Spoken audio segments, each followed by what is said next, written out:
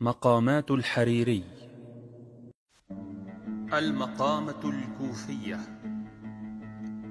حكى الحارث بن همام قال سمرت بالكوفة في ليلة أديمها ذو لونين وقمرها كتعويذ من لجين.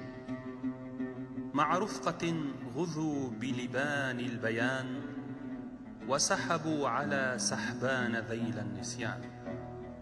ما فيهم إلا من يحفظ عنه ولا يتحفظ منه. ويميل الرفق إليه ولا يميل عنه. فاستهوان السمر إلى أن غرب القمر وغلب السهر. فلما روق الليل البهيم ولم يبق إلا التهويم. سمعنا من الباب نبأة مستنبح ثم تلتها صكة مستفتح. فقلنا من الملم في الليل المدلهم؟ فقال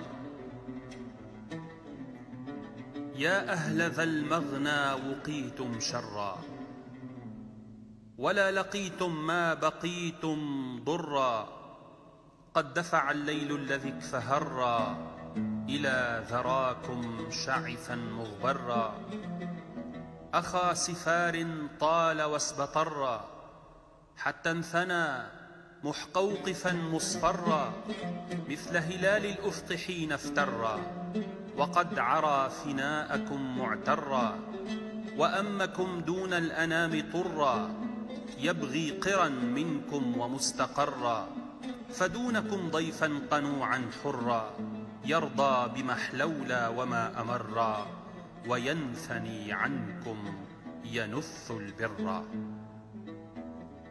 قال الحارث بن همام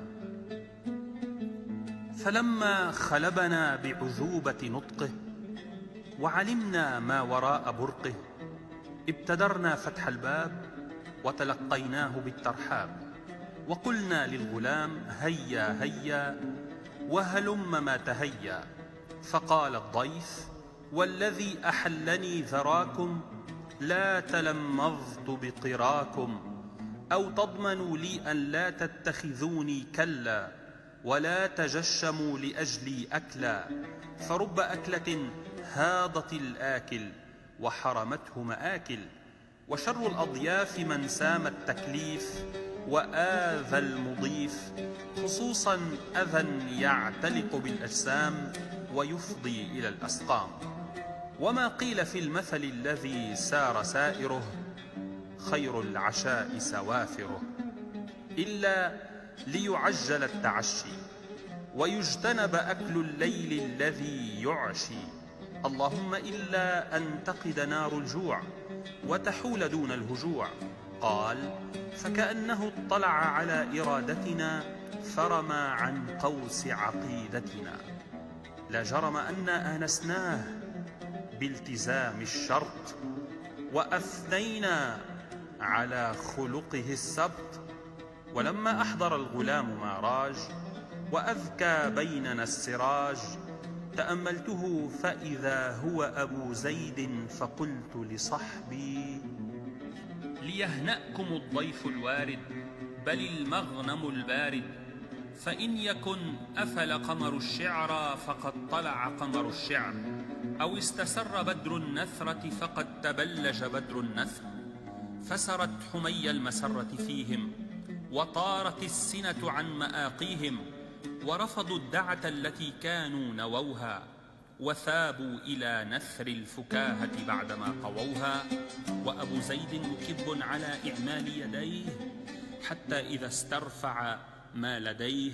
قلت له أطرفنا بغريبة من غرائب أسمارك أو عجيبة من عجائب أسفارك. فقال لقد بلوت من العجائب ما لم يره الراؤون ولا رواه الراوون. وإن من أعجبها ما عينته الليلة قبيل انتيابكم ومصيري إلى بابكم.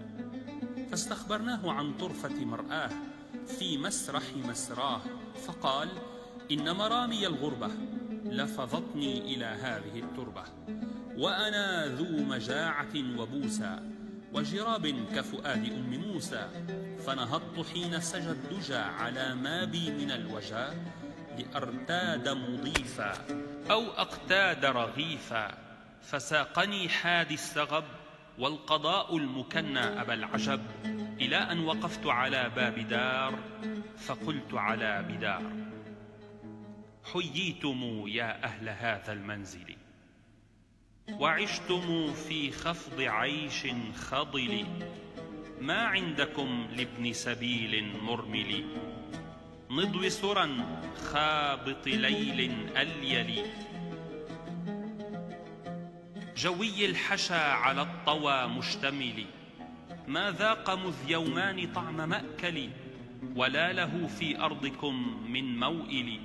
وقد دجا جنح الظلام المسبل. وهو من الحيرة في تململ. فهل بهذا الربع عذب المنهل. يقول لي ألق عصاك وادخلي وابشر ببشر وقرا معجل. قال فبرز لي جوذر عليه شوذر. وقال وحرمة الشيخ الذي سن القرى وأسس المحجوج في أم القرى. ما عندنا لطارق إذا عرى سوى الحديث والمناخ في الذرى. وكيف يقري من نفى عنه الكرى طوى برى أعظمه لما برى فما ترى فيما ذكرت ما ترى. فقلت ما أصنع بمنزل قفر ومنزل حلف فقر. ولكن يا فتى ما اسمك؟ فقد فتنني فهمك. فقال اسمي زيد ومنشئي فيد. ووردت هذه المدرة أمس مع أخوالي من بني عبس. فقلت له زدني إيضاحا عشت ونعشت.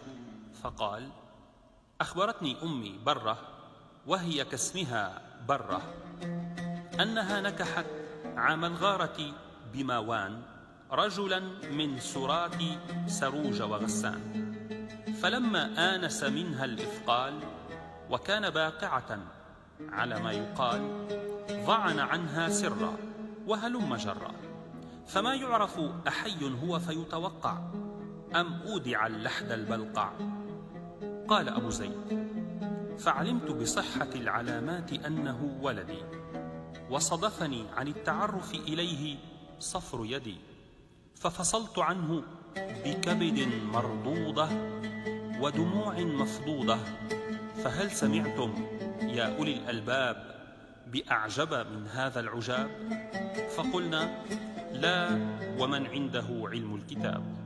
فقال أثبتوها في عجائب الاتفاق وخلدوها بطون الأوراق فما سير مثلها في الآفاق. فأحضرنا الدوات وأساودها ورقشنا الحكاية على ما سردها. ثم استبطناه عن مرتآه في اصطدمام فتاه. فقال إذا ثقل ردني خف علي أن أكفل ابني. فقلنا إن كان يكفيك نصاب من المال ألفناه لك في الحال. فقال وكيف لا يقنعني نصاب؟ وهل يحتقر قدره إلا مصاب؟ قال الراوي فالتزم منه كل منا قسطا وكتب له به قطا. فشكر عند ذلك الصنع واستنفد في الثناء الوسع حتى إننا استطلنا القول واستقللنا الطول. ثم إنه نشر من وشي السمر ما أزرى بالحبر إلى أن أظل التنوير وجشر الصبح المنير. فقضيناها ليلة غابت شوائبها إلى أن شابت ذوائبها. وكمل سعودها إلى أن انفطر عودها. ولما ذر قرن الغزالة طمر طمور الغزالة وقال انهض بنا لنقبض الصلات ونستنض الإحالات فقد استطارت صدوع كبدي من الحنين إلى ولدي.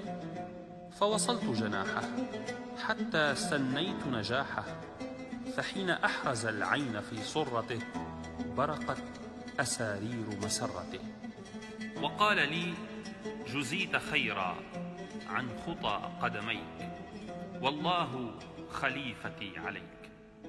فقلت أريد أن أتبعك لأشاهد ولدك النجيب وأنافثه لكي يجيب. فنظر إلي نظرة الخادع إلى المخدوع وضحك حتى تغرغرت مقلتاه بالدموع وأنشد. يا من يظن السراب ماء. لما رويت الذي رويت. ما خلت أن يستسر مكري وأن يخيل الذي عنيت.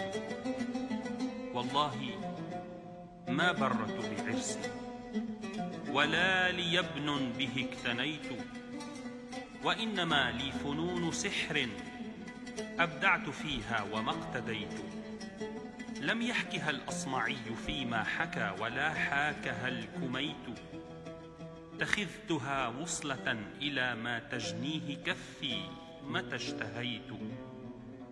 ولو تعافيتها لحالت حالي ولم أحو ما حويت فمهد العذر أو فسامح إن كنت أجرمت أو جنيت ثم إنه ودعني ومضى وأودع قلبي جمر الغضا.